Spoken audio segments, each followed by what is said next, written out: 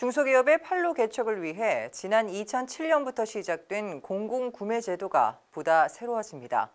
대중소기업 간 상생 협력을 통해 기술력이 우수한 초기 기업이 공공조달 시장에 진출할 수 있도록 지원하고 조달 시장에 참여하고자 하는 대기업, 소재 부품 기업이 중소기업의 협력 기업 형태로 시장에 진출할 수 있도록 하는 것인데요. 올해부터 새롭게 시작되는 공공조달 상생협력 지원 사업. 사업 내용은 무엇이고 어떤 의미가 있는지 양가희 기자가 자세히 짚어드립니다. 연간 123조 원 규모의 공공조달 시장. 그중 중소기업 제품의 구매액은 94조 원으로 전체의 76%를 차지하고 있습니다. 2007년부터 시작된 공공구매 제도는 관련 시장이 해마다 커지면서 중소기업의 판로 개척에 많은 기회를 제공해 왔습니다. 하지만 제조 기반을 충분히 확보한 기업만이 시장에 진입하도록 해 제도를 활용할 수 있는 기업의 사각지대가 발생했고 대기업의 공공조달 시장 진입을 막아 기업 간 협업이 이루어지기 힘들었습니다. 또한 최종적으로 완제품을 납품하는 기업이 수혜자가 되도록 설계돼 있어 소재 부품 기업의 경우 혁신 부품을 만들어도 완성품을 만드는 기업의 선택을 받지 못하면 시장에 진입하지 못하는 등의 한계가 있었습니다. 정부는 이러한 문제점을 극복하고자 공공조달 상생협력 지원 사업을 올해부터 새롭게 추진합니다.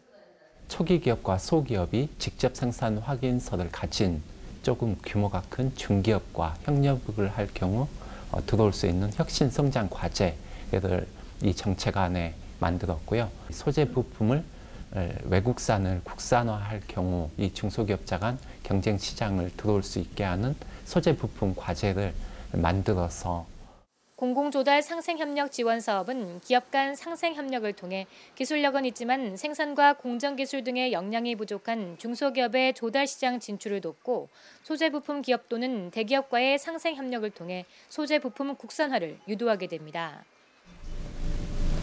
공공조달 상생협력 지원 사업은 대중소기업 간 상생협력을 통해 중소기업의 혁신 역량을 강화한다는 점에서 더욱 의미가 있습니다.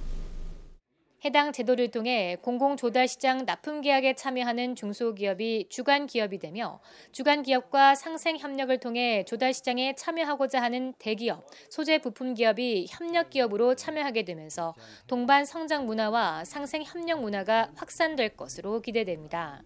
그동안 대기업과 중소기업은 어떻게 보면 경직돼 있는 관계, 수직 관계에서 이런 제도가 도입이 되면 수평적인 관계, 상생하는 관계, 윈윈하는 관계가 될 것 같아서 문화적인 음, 환경과 이런 것들이 바뀔 것 같고 또한 대중소기업 상생 협력을 통해 제품의 가치를 키워 중소기업의 국제 경쟁력 향상, 해외 시장 개척에도 도움이 될 것으로 기대되고 있습니다. 대기업이 단순히 뭐 제조나 이런 부품이나 이런 것만 도와주는 게 아니라 저희가 궁극적으로는 이 공공조달 시장은 제한된 시장이거든요. 대기업과 중소기업 손을 맞잡고 어떤 새로운 제품들을 개발해 낼 수 있으면 공공의 시장에서 reference를 확보를 해서 결과적으로는 해외 시장으로 진출할 수 있게끔 도움을 주자라는 차원입니다. 국내 공공조달 시장은 중소기업자가 계약자로 해서 대기업의 도움을 받아서 들어가는 구조가 되지만 해외 시장을 나갈 때는 오히려 거꾸로 대기업의 브랜드를 통해서 중소기업과 같이 협력해서 나갈 수 있는 구조가 만들어질 수 있거든요. 기업 간 상생 협력을 통해 경직된 조달 시장의 벽을 허무는 공공조달 상생 협력 지원 제도.